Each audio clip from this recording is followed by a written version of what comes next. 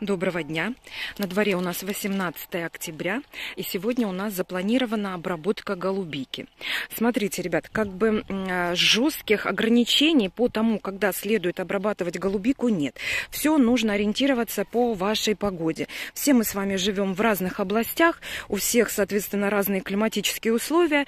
А, смотрите, выбирайте, подбирайте Э, э, когда удобно работать вам. У нас до э, где-то неделю назад стоял дикий ветер, обрывающий просто деревья, листья, все что угодно.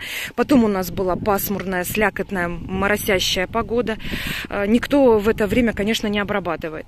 Сегодня мы выбрали денечек, когда более-менее сухо, безветренно, работать можно.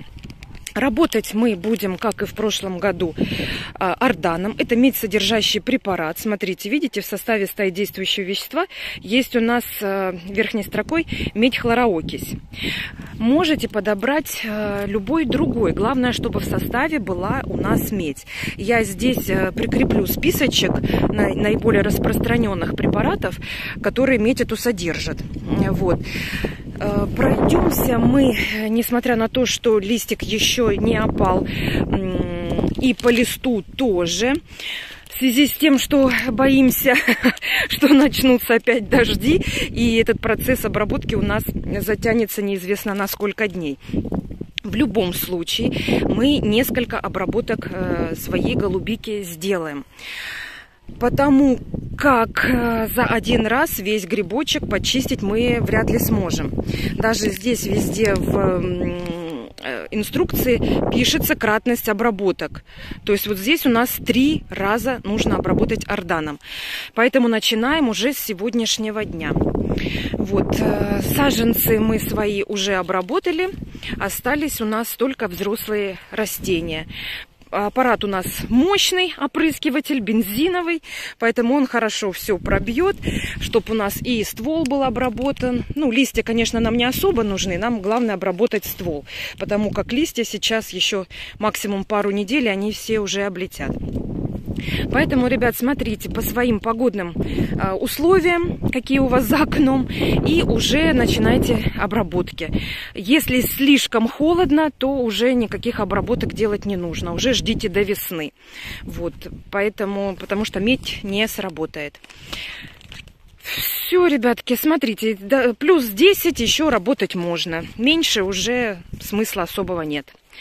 Так что всем удачи, начинаем обработки. И да, друзья, э, наверняка возникнет такой вопрос, а когда же обрезать голубику? Смотрите, я лично это начну делать уже зимой, перед тем, как закладывать черенки на хранение для дальнейшего укоренения. Вы это можете делать абсолютно в любое время, когда вам удобно. Вот.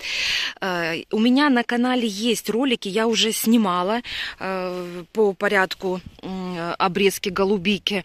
Обязательно это нужно делать. Это просто обязательный пункт э, в уходе за голубикой. Вот, и смотрите как. Наверное, я отдельным роликом все-таки сниму, покажу еще раз. Вот, по, именно по обрезке голубики ну, просто хотела сказать, что это делается в любое время, когда удобно вам. Смотрите, я же подошла снимать, и я прям это в недоумении, какого, какого размера вымахал куст. Смотрите, он больше двух метров. Просто больше двух метров. Смотрите, я не могу дотянуться до, до верхушки. Я метр семьдесят. И вот голубика на вытянутую руку еще там.